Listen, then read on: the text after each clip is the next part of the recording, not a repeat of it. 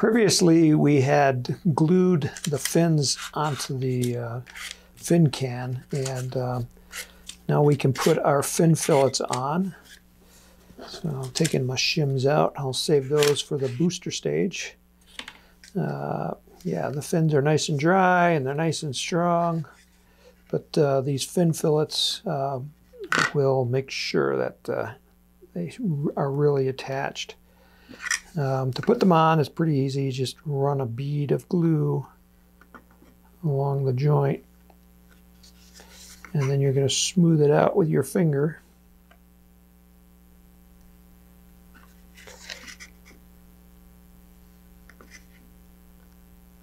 It's like way too much glue, but um, so then you have a paper towel handy because you're going to wipe off a lot of it. And just bring your finger and just smooth it out. Um, if you have too much, just wipe it off. Uh, always, always try to get that front edge.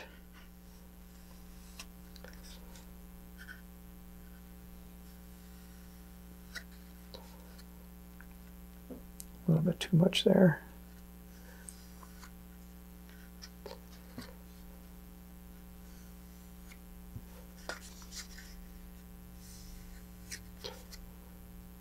This one probably don't have enough. Need a little bit more right there.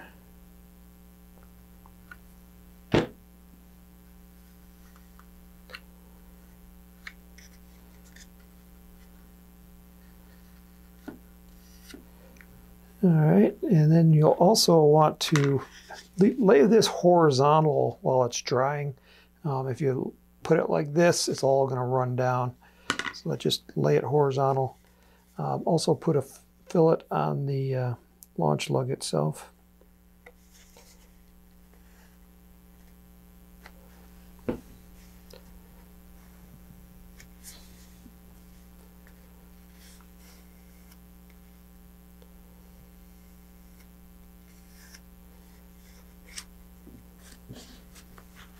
All right, so that one looks good. And now we'll go on to the next step, which is step 35 is taking the shock cord. And on each end we want a two inch long loop. So um, so just take it and loop it over like this and then just tie an overhand knot in it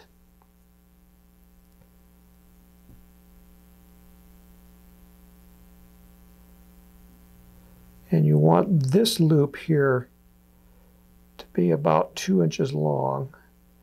And the reason is we need it long enough that we can pass the nose cone through um, or the body tube through. Oops, got some glue on there. Wipe that off. Um, the body tube is probably a better one because you got that launch lug on there and it's got to fit over the launch lug too, just like that. That looks good. You want to do that on both ends.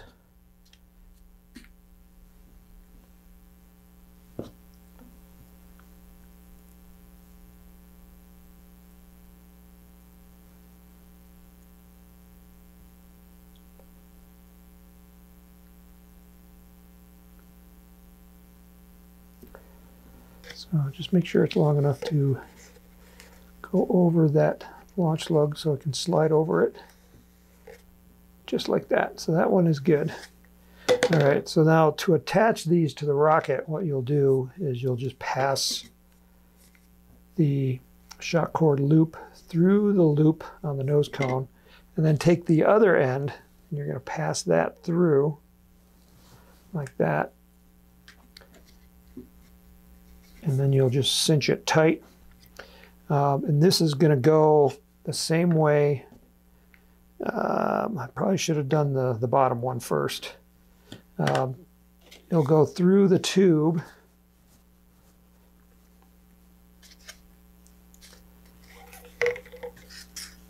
So then through the loop on the uh, front of the eBay board.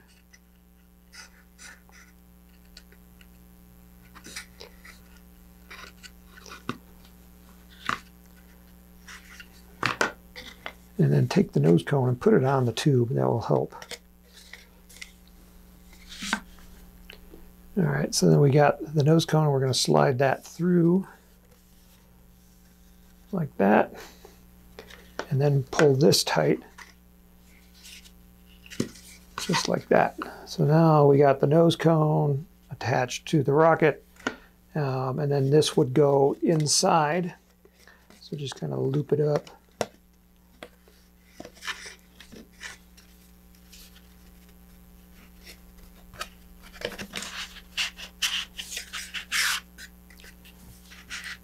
Just there like that. So now our nose cone is attached.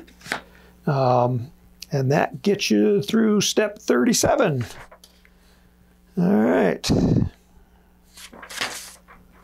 Um, then the next thing will be the parachute, which is step 38.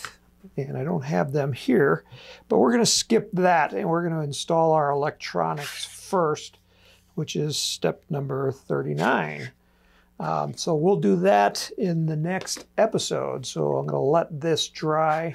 Um, and you can also, if you need to work ahead, you can start working on the booster um, because that can be done in parallel while this is all dry.